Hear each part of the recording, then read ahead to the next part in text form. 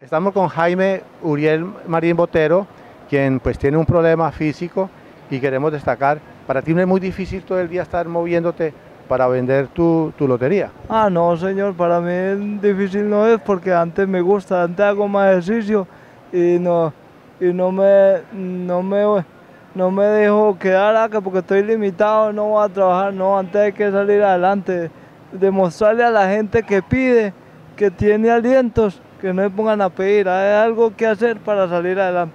No nada más pedir a la gente deme una monedita, no me gusta eso. No, ¿Tienes familia? sí, yo tengo muy buena familia y no que a mí me Me gusta. pregunto, ¿tienes tu esposa, tienes tus hijos? Ah, no, esposa no, vivo con mi mamá. Está bien.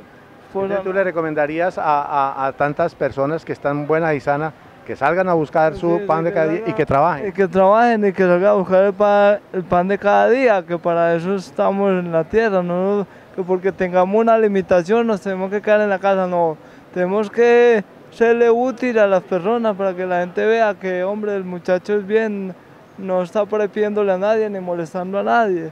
Porque es que pedir es muy duro, yo pienso que pedir debe ser lo más duro que pueda haber porque yo nunca lo he hecho. Y en tu incapacidad, ¿eres feliz? Claro, yo, yo no me en ningún momento me encuentro triste porque tengo incapacidad, no, yo antes soy feliz, yo soy feliz así. Yo, eh, uno en la vida tiene que asimilar como Dios lo trae a este mundo y saber llevar la vida. Yo la llevo muy bien, todo el mundo me quiere, todo el mundo me ve, me saluda, compran las boletas, ah, no, esperemos al muchacho que ya viene y tal cosa, porque yo voy bien con la gente.